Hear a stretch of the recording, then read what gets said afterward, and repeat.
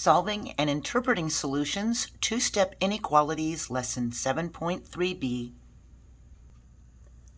We can apply what we know about solving two-step equations and one-step inequalities to solving two-step inequalities. We can graph the solution on a number line using an open circle to show that the number is not included as an answer. We use a closed circle to show that it is included as an answer. So remember that this is the coefficient of the variable. Our variable is x. We have our constant. It's a minus 4. We have our inequality symbol, which is less than, and we have a 12. It says if we multiply 5 by an unknown number, then subtract 4 from the product, it will be less than 12. Sam wants to complete the first two miles of an eight mile run in 15 minutes or less, running at a steady pace. The inequality 8 minus 25 hundredths p is less than or equal to 6 can be used to find p, the pace, in miles per hour. He can run to reach his goal.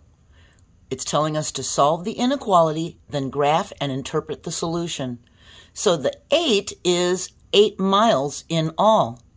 The minus 0.25 for right here, 15 minutes is one fourth of an hour, and we write one fourth as 25 hundredths. See? This became 25 hundredths of an hour. The P is the pace as miles per hour. We have less than or equal to because he wants to run less than or equal to 15 minutes of time, and 6 is the remaining miles to run after he runs 2 miles. If it's an 8 mile run and he's going to complete the first 2 miles, well, then there's just 6 miles left. We use inverse operations to solve the inequality. So remember, to solve, we need to isolate the variable to one side of the inequality. First thing we do, because we see that this is the coefficient of p, we leave this alone for now, and we look at 8, which is the constant.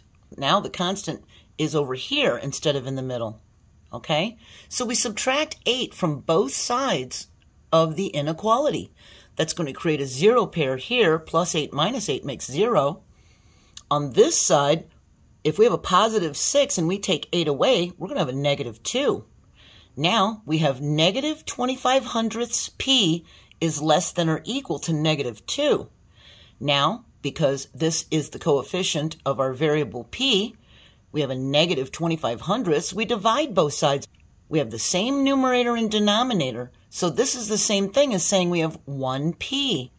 And negative 2 divided by negative 25 hundredths is 8. We can fit 8 of these 25 hundredths into a 2. They have negatives, and a negative divided by a negative is a positive, so we have P is greater than or equal to 8 because we reverse the sign because the coefficient of P, the negative 25 hundredths is a negative. So remember, this was a positive. Well, that was our constant. Our coefficient of P is a negative. We have a minus 25 hundredths here. We know P is isolated on the left side, and P is greater than or equal to 8. So now we know that P is greater than or equal to 8 because we had to reverse the sign because that was a negative coefficient of the variable. We can graph it, including 8, because it's greater than or equal to 8. We draw a solid circle, a closed circle on the 8, and we shade in greater than 8, because this shaded in area represents P, that it's greater than or equal to 8. That tells us that Sam must run a steady pace of 8 miles per hour to reach his goal. That's pretty fast. The fastest humans running can do 5 to 8 miles per hour, so that's on the high end. And anyone looking at our graph will know that 8 is a solution because we used the closed circle. Here we have another inequality. 8x minus 13 is less than or equal to 3. We see this says minus 13. So we add 13 to each side to eliminate this minus 13. We create zero pair here. We have a minus 13 plus 13, so that's eliminated as a 0.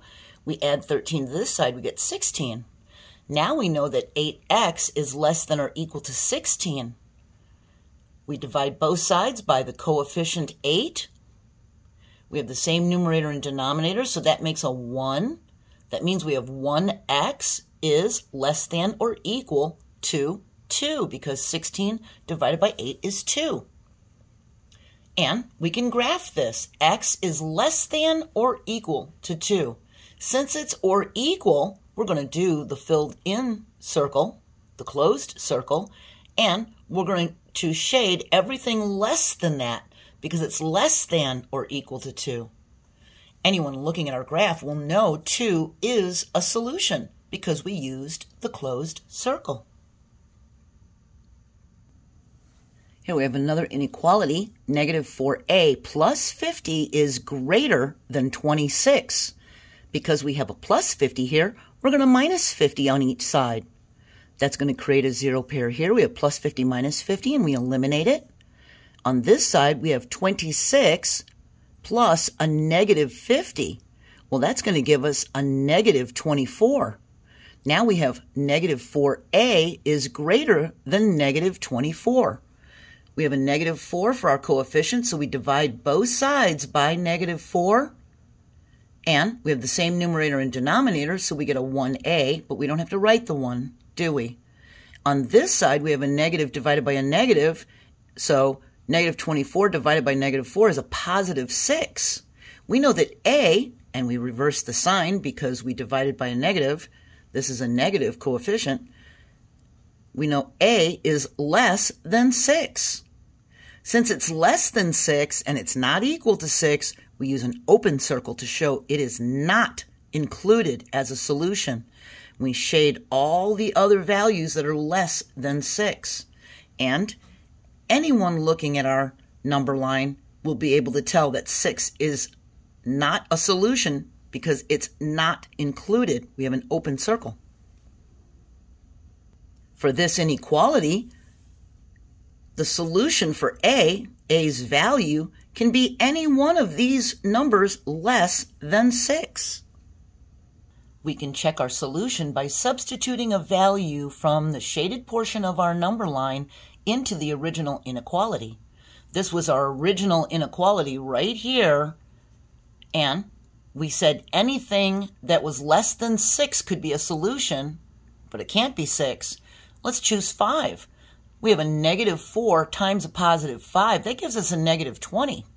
When we subtract 50, remember, we're subtracting a positive 50, so it's the same thing as adding the opposite. We could say we're adding a negative 50. That's going to give us a negative 70. We reverse the sign because of this negative 4, and we get negative 70 is less than a positive 26, and that's true. So 5 could be a solution for A. Okay, we finished this second part. We're going to move on to the last part of 7.3, and we're going to be determining if a given value makes an inequality true. I really hope this is all making sense to you. And really remember, when we have a negative coefficient, we have to reverse the sign. Otherwise, it won't be true. Have a great day. I hope the rest of your day is wonderful and join me for the last part of the lesson. Bye.